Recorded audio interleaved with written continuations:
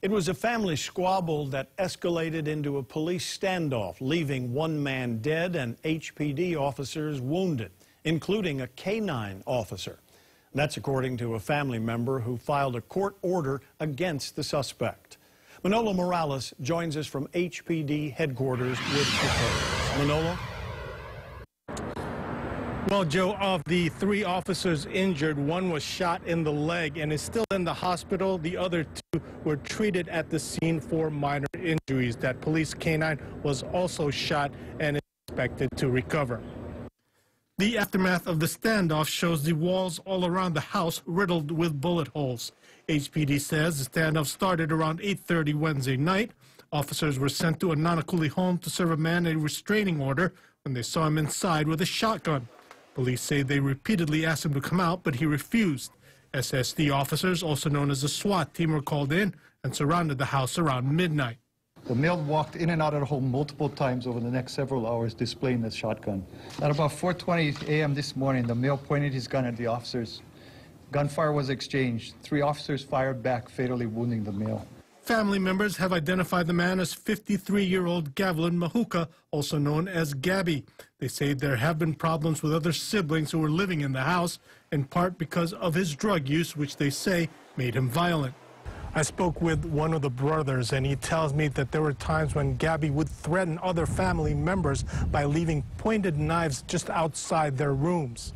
The brother tells me his wife filed the restraining order because she feared that Mahuka would go after them Mahuka has a long criminal record that goes as far back as 1989. He's been convicted 14 times, three of them for felony charges, which include kidnapping and assault. Neighbors say they knew the family was having problems, but never expected it to end this way. I just told my husband, I can't believe this is what's going on right now, right side outside of our home. And it was a lot sadder for me because I've known him majority of my life.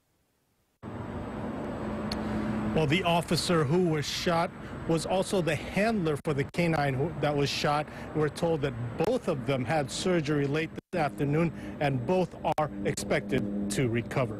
Joe, back to you. Thanks, Manolo. Today's shooting makes this the third officer shot in a little more than a week. Big Island officer Bronson Kaliloa was shot and killed last week Tuesday by Justin Waiki, prompting an island-wide manhunt for the suspect. That ended on Friday afternoon when officers found Waiki in a Toyota 4Runner in South Point. A shootout ensued. Waiki was killed. And another officer, Sergeant Brian Tina, was shot and injured. Honolulu police tell us that Hunter, the K-9 that was with officers during the Waikee shootout, was also wounded. Police say he was wearing a vest but was shot in the neck. He underwent surgery this afternoon and is expected to be okay. This is the second police dog in a span of two months to be wounded in the line of duty.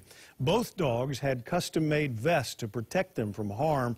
The organization that delivered the donated vest says it's relieved that the wounds were not worse that the dogs are not only a work partner, but they're also family members as well, and they go home with the officers at the end of the day, and so we want to make sure that that always happens, that the two and four-legged officers go home safe because it's a team. I would say that it helped. It definitely helped. If it didn't save his life, it certainly helped the dog, for sure.